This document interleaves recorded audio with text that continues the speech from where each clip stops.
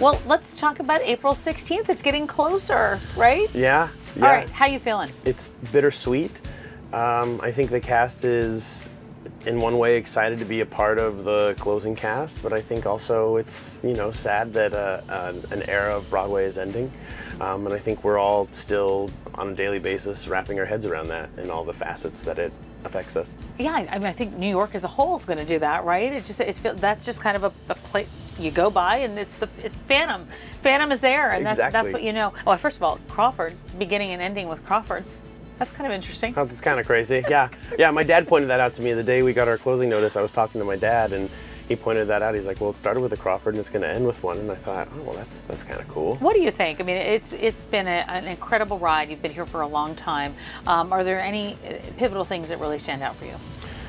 Oh my gosh. Well, I mean, we just just celebrating the 35th anniversary was was pretty amazing. My daughter just came and saw the show, and that was just really really cool to have her in the audience and be able to see the show. I mean, she's five; she didn't really know what was going on, but she was like, "That's Daddy," and I saw her like blowing me a kiss after the show. So there's like oh, all those wow. little like daddy moments that yeah. you really just keep in your heart. Yeah. That's incredible. Has she come since? Has she seen it one time so far? She's just seen it once, okay. and you know she actually fell asleep in the final scene, and then and then I was thinking, the, okay, yeah, she's allowed. Yeah, she's absolutely allowed. Yeah, but the the audience applauded on my final note, and she woke up and went, "There's Daddy." So.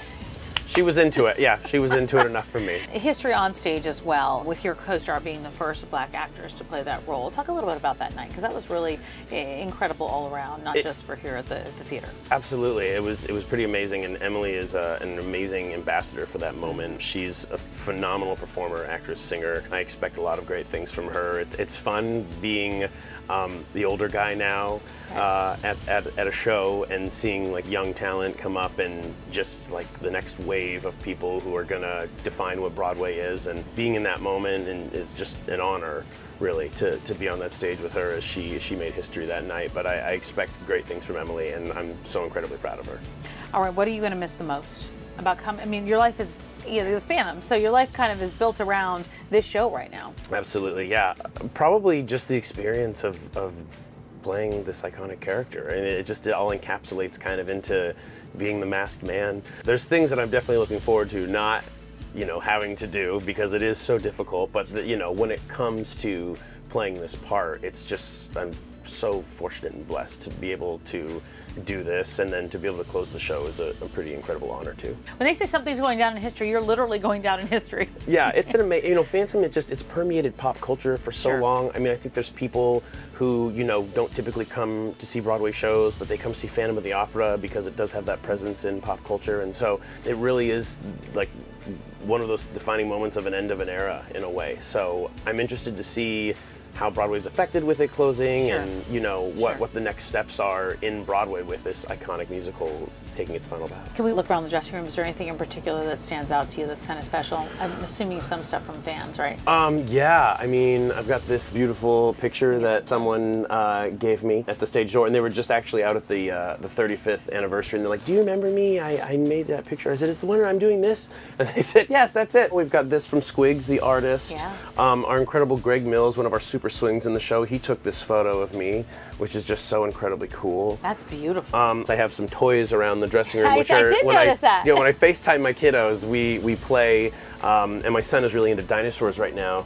And uh, someone just recently sent me this little dinosaur who's dressed as the Phantom. I mean, just like really, really neat oh, little mementos that I get from people. You know, a lot of people are just so kind and appreciative of, of what we do here at the theater, and you get stuff like that, and you're just like, this is really, really cool. When was the first time you saw Phantom, actually? Um, gosh, it was probably around 2014, I think. Okay. And I was actually auditioning for the show. I was auditioning for one of the managers, so I decided I should probably see it. So I came and saw Hugh Panaro perform as the Phantom, and mm -hmm. he was Mm-hmm. awesome. And now he's actually a friend of mine. All right, who do we have here? This is Ruthie 2 Mm -hmm. and uh, she is named after Hal Prince's assistant director. She is uh, pretty awesome. She comes down every night uh, right before intermission, and I have had the uh, privilege of sitting in these seats oh, wow. during a during a put-in rehearsal, yeah. and have looked up and watched her drop down and then swoop over the audience. It's one of the coolest experiences because you're like, is this, is, this is gonna move, right? Or am I, am I done for? I, I don't know. Um, it's an amazing to just to sit down here and be able to experience that. I think in, in in a Broadway show as well. It's just like a really cool moment.